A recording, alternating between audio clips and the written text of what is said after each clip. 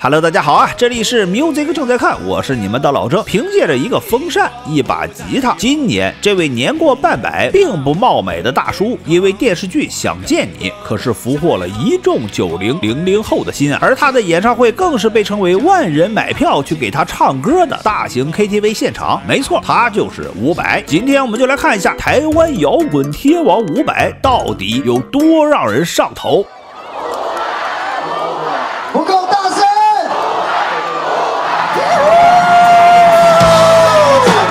将你眼睛闭了起来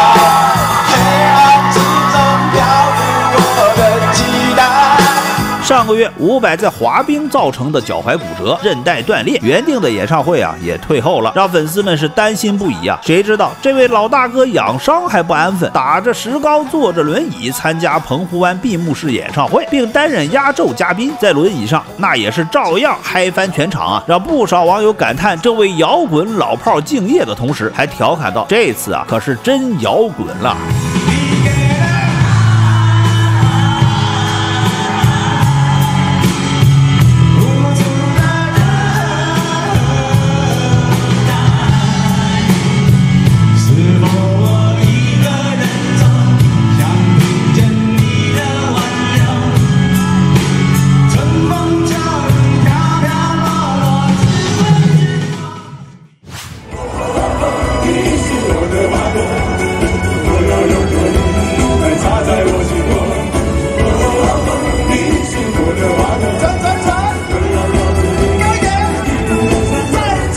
当然，伍佰的创作能力那也是没得说。为刘德华创作的《世界低等》，为王心凌创作的《我会好好的》，那都很受欢迎。但他也有被人退歌的时候。伍佰的经典歌曲《你是我的花朵》就是他为 Twins 写的歌，但因为风格不符，所以被 Twins 拒绝。伍佰自己演唱后是一炮而红啊！自创的《花朵舞》更是在油管的播放量高达三百三十八万。看伍佰这舞姿，妥妥的是广场舞中最靓的仔啊！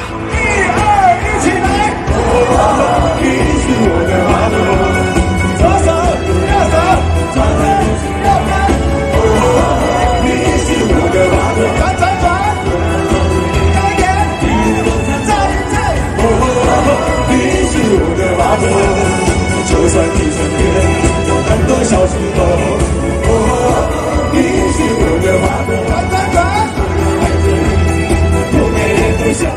歌手可以不背歌词，因为台下的粉丝就会从头给你唱到尾。现场之王伍佰的演唱会绝对是所有歌手梦寐以求的现场效果了。唱歌你只要开个头就行，台下立马万人大合唱，即便你麦克风在手，也架不住他们人多势众啊，让伍佰老师是想插都插不进去，最后也只能在自己的演唱会上当领唱和伴奏了。